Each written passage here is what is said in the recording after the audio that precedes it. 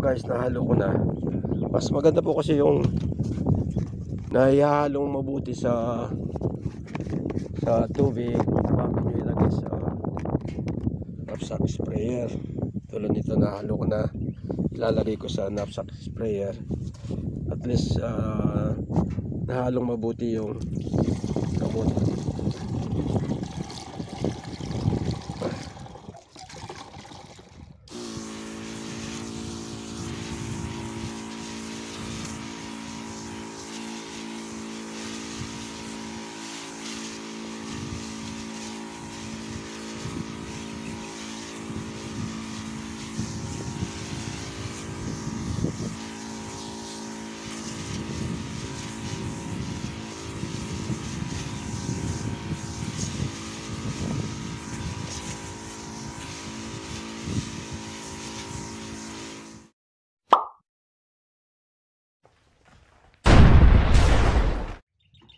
What's up guys? Good afternoon.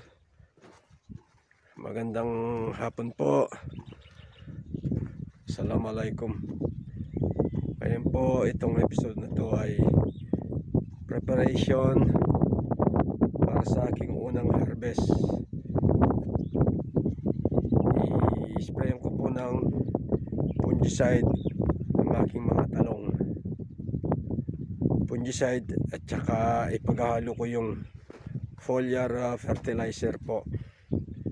Habang uh, yung aking kapatid ay uh, inaararo yung mga kalabasa at yung isa naman inaabonoan ng uh, ammonium sulfate yung maliliit na kalabasa.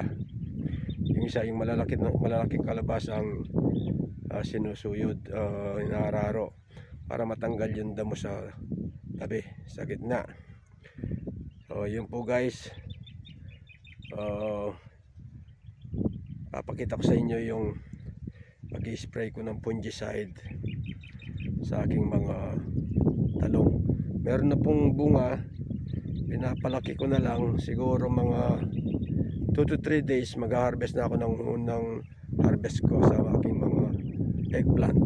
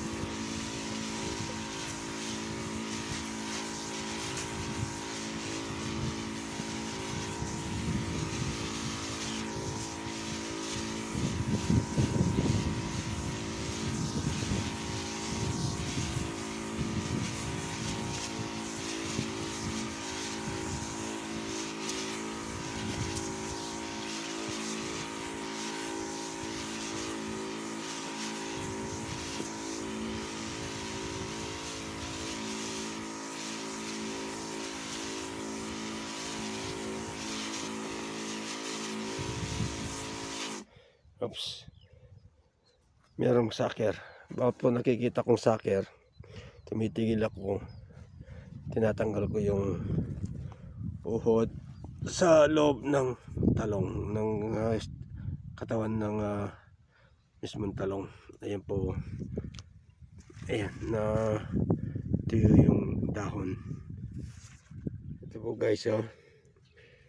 Ito, nalanta itong ano, dahon. Ibig sabihin, pag nalanta po yung dahon, merong uhod sa loob. Ayan po, tinanggalan ko. Ayan. Ang tinuturo ko na yan, yan ang binutas niya. Puto yung tangkay. Kaya, ayan. Huling-huli siya. Sa aking mga, ayan. Kita niyo po yan. Uhod. Ano po yan, uh, insekto, uhod pag tinusok ng mga butterfly uh, mangingitlog doon katapos papalaki yan po yung uhod ayan ho ito po yung uhod. Ayan, papakita ko dyan sa ilalagay sa dahon. Ayan.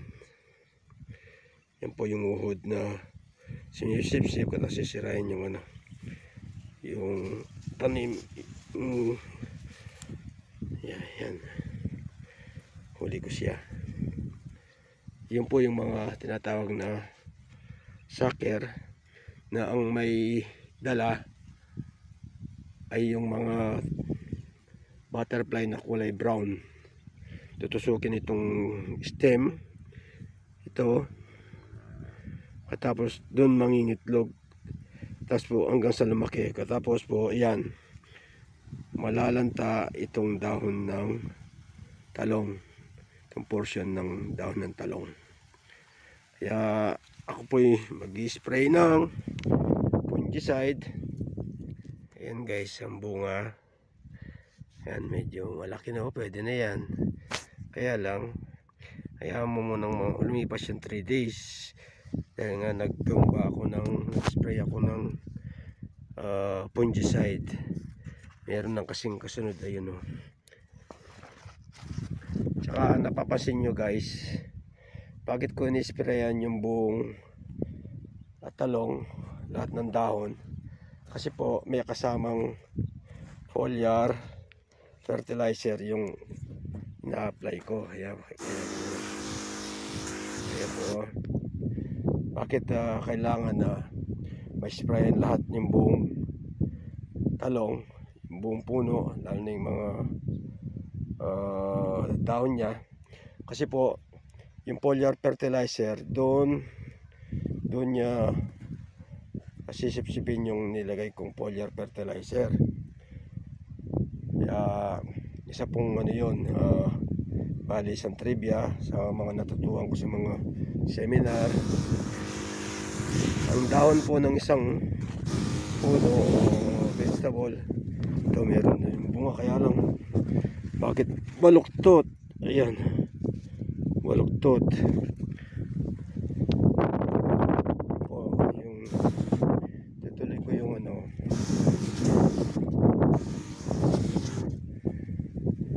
Dali ubos na yung gamot. Po guys. Habang uh, papunta ako dun sa aking irigasyon para magtimpla ng gamot tutuloy ko yung sinasabi ko sa, yung, sa inyo na parang trivia na rin sa mga natutunan ko sa mga seminar sa Department of Agriculture. Ang isa pang puno uh, itatanong ko sa inyo ngayon kung hanggang saan yung kanyang ugat. Malalaman po nyo ang isang puno kung hanggang saan yung kanyang ugat ay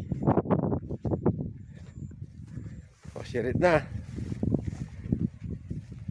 Kaya po kayo kapag nag-aabono kayo sa mga lalo na sa mga bearing fruits mga mangga o santol duhat o ano pang uh, bearing fruit mag-aabono kayo ay huwag dun sa tabi ng puno. Mali po yun ang tamang sagot po ay kung saan yung dulo ng mga dahon ng isang punong kahoy o mga vegetable tulad ng mga talong. Yung pinakadulo yung perimeter niya andun po yung dulo ng ugat ng mga uh, halaman. Doon po nyo dapat ilagay yung abono para madali niyang sipsipin. Kasi po kung sa tabi ng puno yung nakaugalian natin sa tabi ng puno uh, hindi po tama yun. Dapat nasa dulo ng yung pinakadulong dahon na palibot. Ito po ang mga ugat ng isang punong kahoy o vegetable. Ngayon po mas mainam ang isang fertilizer ay kapag nilagay nyo kung pwede lang o kung ayaw nyong gusto nyong I mean gusto nyong yan sa tubig mas maganda po Yan yung ihalo nyo sa tubig. Ngayon, pag ah, puro, yung hindi nahalo sa tubig, ang maganda po, umukay kayo, palibot, yung mga apat o tatlong uh, ano, ukay, doon nyo ilagay yung abono sa kanyo takpan. Kasi po, ang abono, lalo na po yung urea, nitrogen po yan, yan po ay lumilipad. Subukan nyo maglagay ng nitrogen sa open area na isang isang ganyan. Sandakot ka nga. Ilang araw po makikita nyo, lumilit, lumilit po yung abono na yun. Yun po kasi po ay nitrogen yun, lumilipad. Kaya mas maganda po kung mag-apply kayo ng abono, tabunan nyo para hindi lilipad. At matagal kakainin ng punong kahoy o gulay yung abono. Kasi po andun lang yun, kinakain niya. So yun po you guys. Isa na namang trivia ang aking uh, na-share sa inyo. Ah, pwede po kayo mag-comment kung meron pang kulang sa aking mga natutunan tungkol sa nabanggit ko. Sige po guys, gagawa muna ako ng ng kakanaw muna ako ng gamot. Di bali na pong hindi ako naka itaw yung aking mukha. Ito po ay foliar fertilizer. Lalagyan ko ng tatlong kutsara.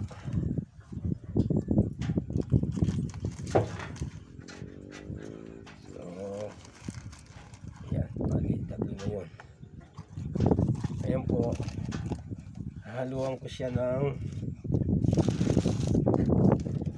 fungicide.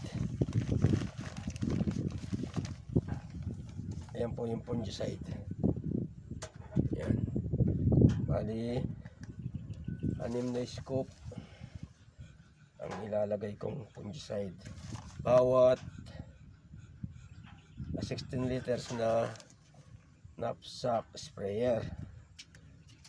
Yun po. Kahit po sa mga sili, yun din po ang recommended uh, dosage. So, hahaluin ko po yan. Po guys, nahalo ko na. Mas maganda po kasi yung nahihalong mabuti sa sa tubig bago nyo ilagay sa knapsack sprayer. Tulad nito nahalo ko na ilalagay ko sa knapsack sprayer. At least uh, nahalong mabuti yung gamot.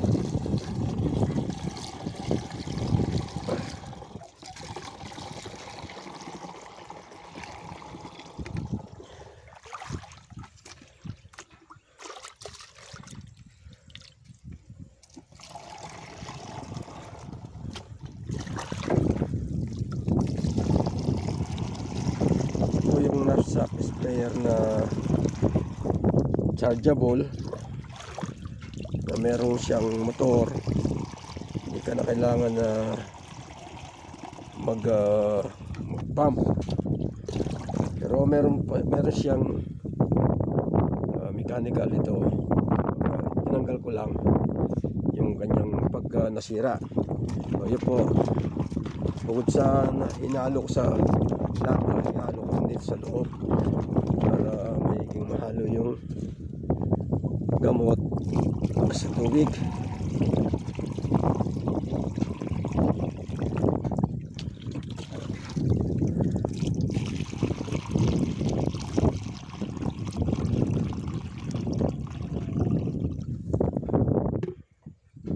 Ayan po. Ah, lagay ko na. Ayun ito pong nakikita nyo yung knapsack sprayer na yan kaya po ito po stainless yung dati kong knapsack sprayer na matanda na yan pero pwede pa. Yan po naman ay ginagamit ko exclusive lang sa gamot sa damo. Ano lang po yun pang uh, herbicide. Kaya para po ligtas yung ating mga kasi po mahirap magkamali kahit nahugasan mo yan pag nag-spray ka ah, may tendency na mamamatay yung, yung mga halaman guys. Bali dalawang linya na lang. Isang kargahan na lang po matatapos na ako. Ito po yung aking pambomba. Ah, di makina naman to kaya hindi na kailangan na mag ah, pump. Ito po.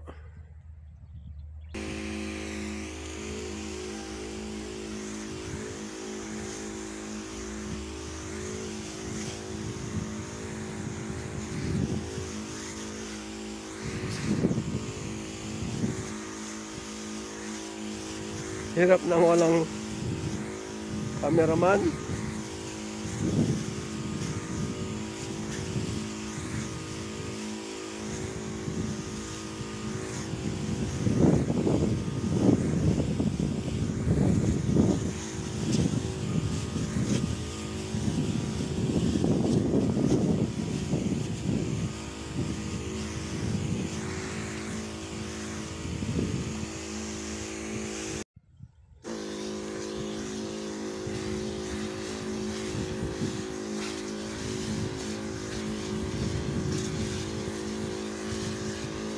Kailangan. Ah, kung pwede lang ma-sprayan lahat yung dahon. Dahil ah, may kasama pong foliar ah, fertilizer itong ni-sprayan ko. At saka at saka ano pa? Fungicide po ang kasama. Para hindi sila puntahan ng mga sekto. After a few days baka pagkatapos naming mag ah, harvest ng mga ilan yung unang bunga i-sprayan ko naman po ng sprayan ko ng gold yung ah, gamot sa mga talong maganda po yun. Yung mga saker takot na takot doon kasi po kasi yun ang ah, dati kong pinang-spray nung yung talong ko sa tabing kubo yung kaunti lang. Pero marami po akong na-harvest. Yun po gold ang pinang-spray ko. Yun guys. Pagkatapos kong mag-spray ah pinatubigan ko yung ating mga tanim na talong para bago mag-harvest meron silang ah, shield o panangga sa mga ah, sucker sa mga insekto. So hindi naman maapektuhan yung gamot na spray ko dahil eh, sa sa itaas yun. Ito uh, tubig dumadaloy, dumadaloy lang sa ibaba. Para kasi medyo natutuyo na kaya kailangan ng patubigan. Kaya sana after uh, uh, bukas or after 2 days pwede na uli ako ng magpitas.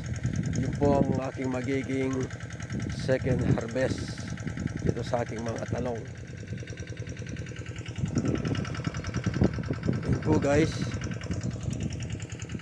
Mga ilang ilang linya lang to. Kasi pinagkasalubong namin yung ah, irrigation. Isa dun sa may ah, aking kubo doon sa may may swimming pool. At saka itong pinagpapatubig ko dito sa palayat. So salubungan sila. Ayun. Kaya mabilis ang pagpapatubig kaya sana maka harvest pa ako ng triple o doble sa una kong ah, pitas na 12 kilos. Unang pitas yun ang tinatawag na unang bunga. Bungang pun sa Pampangan Ah, bunga lampun ara. So yun po guys malalaki po yung naging ah, bunga hopefully ito ring second harvest ma- malalaki rin. So tignan-tignan ko kung mga after ilang araw na pwede nang mag-harvest. Kasi po ah, nag-spray ako so ah, dapat ah, palipas ka ng mga at least 3 days bago ka mag-harvest ulit.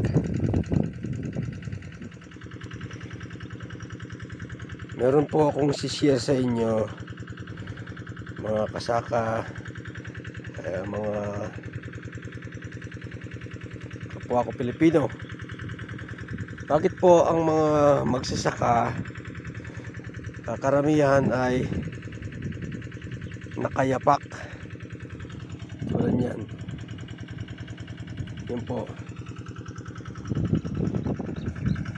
Bakit eh, kailangan nakayapak yung mga magsasaka.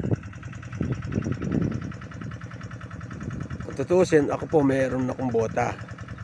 Pero ginagamit ko yon kapag ah, masukal maraming ah, baka merong gumagapang o may tinik. Pero pag ganito pong linis malinis kailangan tanggalin ko po yung aking bota. Sads po yung ating talampakan kaya po kung mapapasin nyo ang mga umabot ng mga 100 years na tao dito sa ating Pilipinas karamihan ay mga dating magsasaka. Bukod po sa kinakain tsaka sa environment tsaka isa rin, isa rin yun yung nakayapak yung mga magsasaka kasi po ang nakukuha nating ah mentahe sa nakayapak ay nakukuha natin yung electron ng lupa. Yun po ayon sa isang exper eksperto. Yung electron ng lupa pupunta sa atin. Kaya maganda po yung ating uh, mga pangangatawan hindi ko po masyadong ma-elaborate lahat pero yun lang po ang nabasa ko. Pero bago, bago ko nabasa yun bago ko nalaman yun ah, matagal na namin ginagawa yung nakayapak kami sa lupa kapag nagtatrabaho. At saka pag ah, nasa bukid lalo na sa palayan hindi po pwedeng nakabota lulubog hindi mo na maialis yung yung pa so kailangan nakayapak pa rin. So yun guys. Sana po ah, nakatulong sa inyo. Dahil na sa mga taong mayroong nagmamanas sa paa. Maganda pong ah, massage yun sa ating talampakan kung mapapansin niyo po itong kulay ah, violet ayan sa mga dahon yan po ay yung gamot na in-apply ko kanina na ah, fungicide. Tapos mo tapos po may kasamang foliar fertilizer. Oh, yan po ang daming bulaklak. Sana magtuloy-tuloy lahat itong mga bulaklak para marami tayong ma-harvest. Yun sinisilip ko yung ano maraming bunga. Yan po. Tingnan natin itong bunga. Ilan na yung bunga? Sunod sunod na ang haba. Ito napakahaba mga 2 days pa. Tapos ito pwede na rin. Tapos susunod to. Kasunod sunod na yan. Yan po guys. Yung ating mga tanim na talong. Binayaya binayayaan tayo ng pong may kapal. Uh, hiniling ko sa kanya na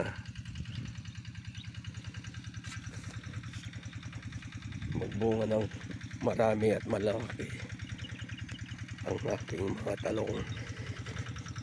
Ito, lalaki.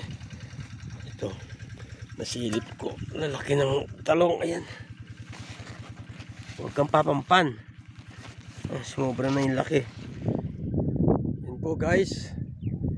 Tapos ko ng patubigan yung aking mga talong. Ngayon naman po bago ako magtapos, papasyalan ko muna yung aking sabog tanim na palay. Kahapon na pinatubigan ko yon So titignan ko yung lahat na natubigan kasi meron siyang parte na medyo mataas. So papasyalan ko muna yung aking palayan. Ito po yung aking kalabasa na pinatubigan ko nung isang araw. Ayan.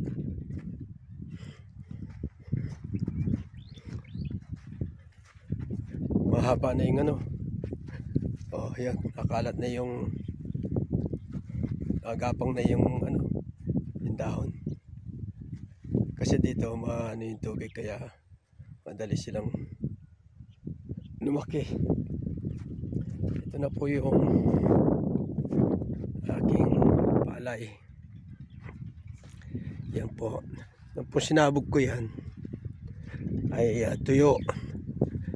Uh, broadcast na tuyo yung tuyo yung lupa. Tsaka binabad ko yung seedlings yung bini ng palay na 160 tapos po tinakpan namin ng dimano na balsa yung hila-hila yung kalabaw.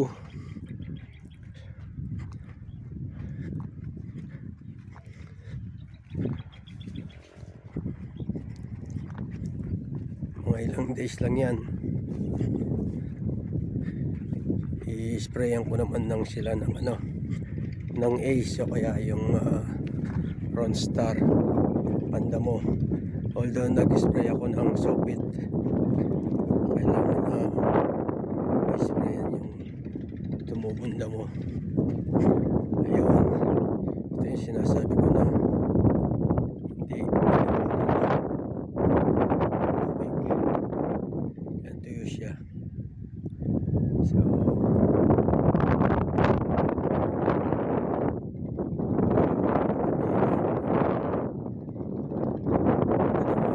para hindi sipsipin na init yung tubig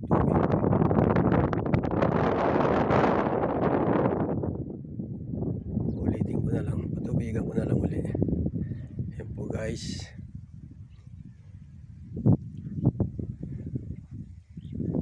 yung aking mga kalaba uling tanim na kalabasa yan. Medyo malalaki na rin.